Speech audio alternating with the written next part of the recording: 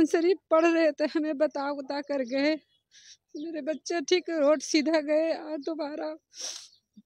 जुमे के बाद से न कुछ फ़ोन किया है न कुछ बात उससे हुई।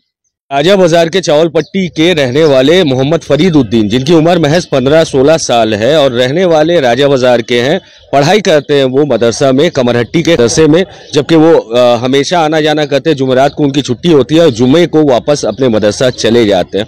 आपको बताया कि पिछले जुमा 11 अक्टूबर को कुछ ऐसा हुआ कि उनके घर वालों ने अ, हमेशा की तरह खाना खाया नमाज़ के बाद खाना खाया खाना खा के उन्हें वापस जाने के लिए इजाज़त दे दी।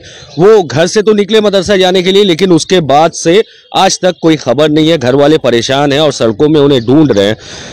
नाकेलडांगा उनका लोकल थाना इलाका होता है। नाकेलडांगा थाना में वो जाते हैं, जाकर कंप्लेन दर्ज करवाते हैं, जिसके बाद वो कंप्लेन एफआईआर में भी तब्दील हो जाती है और पुरजोर ढूँढने की कोशिश की जा रही है। उसके बावजूद वो ढूंढ के नहीं मिल रहे हैं। आइए उनके घर वालों से पता करते हैं कि क्या वाकया था, क्या हुआ था पूरा मामला और क्यों नहीं मिल रहा है फरीदुद्दीन। तो आप बताएँगे, आप पहले अपना नाम बताएँ। नाम तो मोहम्मद शमसाद है मेरे ही लड़का है। अच्छा। घर से वो निकला है करीब साढ़े तीन बजे वो जो है मदरसा जाने के लिए मदरसा वो पहुँचा नहीं है। मदरसे में जब हम कॉल किया है तो मदरसे वाले लोग ने बोला है कि बच्चे आपका जो है नहीं आया। नौ बजे से लेके दस बजे से लेके ग्यारह बजे तक का मदरसे में ढूंढते रहा मगर मदरसा में बच्चा पहुँच नहीं पाया। फिर भी हम लोग से बर्दाश्त नहीं हुआ। तो सुबह पाँच बजे मदरसे गए और वहाँ से बारह बजे आए। और उसकी बाद में उस रूट का गाड़ी का नंबर है 230 जो 230 वाले नंबर में जो स्टान होते हैं वहाँ जाके हम लोग पहुँचे। पहुँचने वालों को उसके बाद में बस स्टैंड वाले लोग को बोला कि भाई देखिए हमारा बच्चा आना जाना करता था तुम्हारे गाड़ी से और वो बच्चा पहुँचा नहीं। अगर ये बच्चा अगर मिल जाए तो आप हमारा बच्चा को नंबर दे दे रहे हैं फ़ोटो दे दिया है। आपको हमको नहीं होगा तो बच्चे को उठा के हमारे राजा बाज़ार में पहुँचा देना और नहीं तो फिर फ़ोन नंबर से उनको खबर कर देना कि हम आके अपने बच्चा को ले जाए। मगर अभी तक बच्चा जो है इसे पता नहीं चला। अच्छा आपके जो रिश्तेदार है या उनके जो दोस्त हैं सब जगह लगा लिया किसी जगह भी पता नहीं चल रहा है वो बच्चा। पूरे घर में जो ऐसे लगा दिया यहाँ से लेके मैंने बिहार तक का खबर लगाया है कहीं बच्चा पता नहीं चल पा रहा है। कुछ नहीं एकदम हँसी खुशी से घर से निकला है। कपड़े पहने हुए मेहरून करल का कपड़े पहने हुआ है पीछे ब्लू बैग टांगे हुआ है ब्लू टोपी लगाए हुआ है पाँव में जूते पहने हुआ है। समझे? पहन के निकले हैं घर से एकदम खुशी से निकले हैं। समझे? और निकल के उसके बाद में गए हैं मगर उसके बाद में उसको पता नहीं चल रहा है कि कहाँ गया। अभी तक। हम लोग ढूंढते ढूंढते परेशान हालात में है मगर वो ढूंढ नहीं पा रहे हैं और बच्चा के कुछ खबर नहीं मिल पा रहा। थाना में विज़िट करवाए उसके बाद लाल बाज़ार भी गए। लाल बाज़ार में जो इसमें सीसी कैमरा जो मिसी है उसमें भी कम से कम दो से तीन घंटा हमको वो दिखला दिया मगर फिर भी उसमें कुछ पता नहीं चला। फिर लोकल में बोली इसकी लोकल कैमरा से जो है आप नहीं होता है तो आप लो, अगल बगल लोकल कैमरा है उसका जो से लाइए तो वो भी लाया। तो दो तीन जगह सीसी कैमरा में जो है से पता चला है मगर अभी वो नहीं लाल बाज़ार गए मगर वो भी ले आके उसको जाँच करवाएँगे। समझे? अच्छा क्या मोबाइल? कुछ मोबाइल नहीं है उसके पास। अलाउ नहीं है मदरसा में कि हाँ मोबाइल लेके लड़का रहेगा। समझे? जब वो हाफिज बन जाता तब वो मोबाइल रखता। दस बारह हिफ्ज कर रहा है अभी। समझे? उनकी अम्मी से बात करते हैं। आप क्या कहिएगा? आपके बेटे से कोई नाराज़गी थी? कोई बात हुई थी? नहीं? मेरे बच्चे से कोई नाराज़गी? नहीं थी मेरे बच्चे अच्छे से।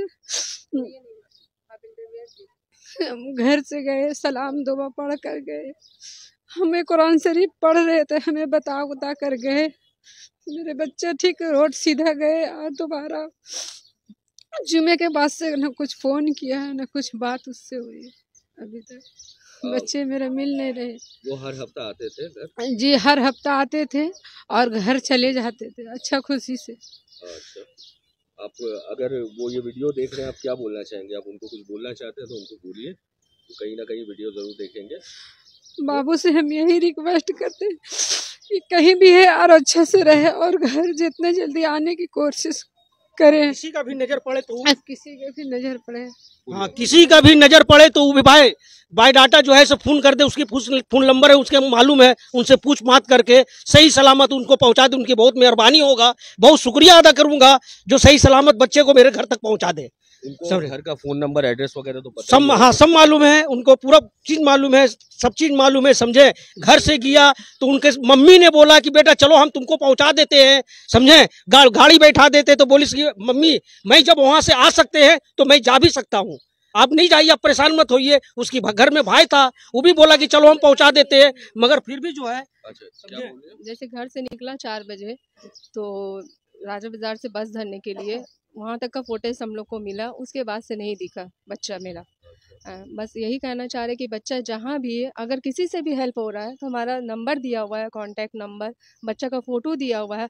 बह बड़ा मेहरबानी होगा कि आप लोग को जहाँ भी नज़र पड़े मेरे घर पे फ़ोन नंबर दिया हुआ है उस नंबर पे कांटेक्ट करके हमारे बच्चे को सही सलामत पहुँचा दे। बस यही कहना चाह रहे हम लोग।